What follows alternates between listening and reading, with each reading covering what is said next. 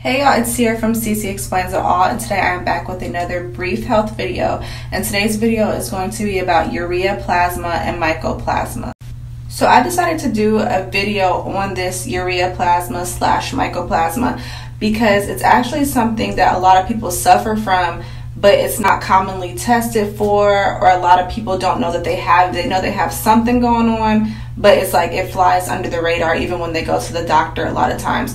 And ureaplasma is actually connected to bacterial vaginosis so some would say that it is another cause of bacterial vaginosis. So without further ado let's hop into it because i really want to shed light on this topic and talk about natural remedies for it so, to define ureaplasma, it is a bacterial infection that belongs to the mycoplasma family. And mycoplasma is the smallest free living bacteria found in the reproductive tract of men and women.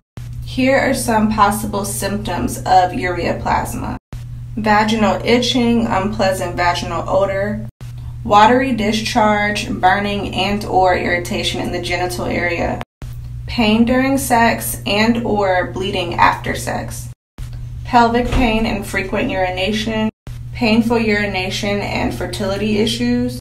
So, like I said, the symptoms of ureaplasma are going to be very similar to bacterial vaginosis, but some would say it also opens the door to yeast infections and UTIs as well, so it can mimic those symptoms as well. Per usual, my disclaimer is those are not all the symptoms, those are just some of the common symptoms, and if you have ureaplasma, you don't have to have all of those symptoms, it could just be some of them. So, if you're suffering from any of those symptoms, make sure that you go to the doctor and get a swab done. You're most likely going to have to request this test because ureaplasma and mycoplasma aren't typically part of the standard screening. So, you might have to request it and ask them to do a swab and look under the scope for you um, to see if you, in fact, are suffering from ureaplasma slash mycoplasma. Say hey. Hey. So for the part that you all have been waiting for, the natural remedy, the natural cure part, let's get right into it. So there's many natural ways to boost your immune system or help balance out the flora of your vagina. So I'm just going to list some. So the number one remedy I would recommend is the good old faithful peroxide douche. If this is your first time hearing about a peroxide douche and it sounds terrifying to you, please have no fear. Our vaginas actually have bacteria, good bacteria in there that actually produce a form of hydrogen peroxide. I will link a video below that discusses exactly how to prepare and do a peroxide douche properly. I'll put that link below in the description box.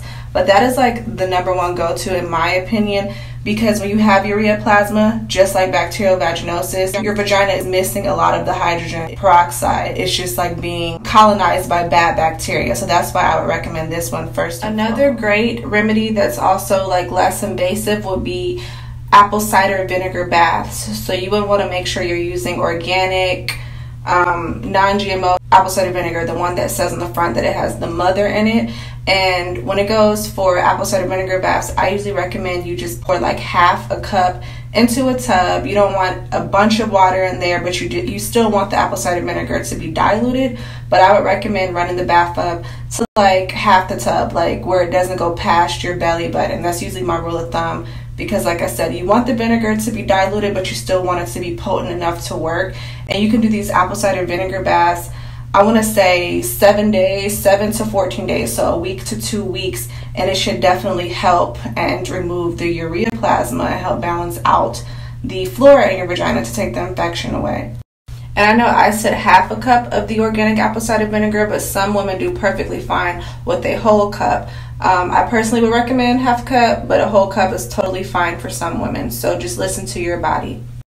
So, some other tips to follow or some suggestions while you're doing either your apple cider vinegar bath or your peroxide douche, whatever route you decide to go. Make sure that you're drinking things like green tea, you're staying hydrated with a lot of water, and that you're on top of your vitamins and minerals, especially things like iodine and vitamin C. And last but not least, pretty please, I beg of you. I know it's easier said than done because it's hard for me too sometimes, but pretty please cut down or remove the sugar. Saying remove it is probably totally impossible and asking for too much, but cut down the sugar.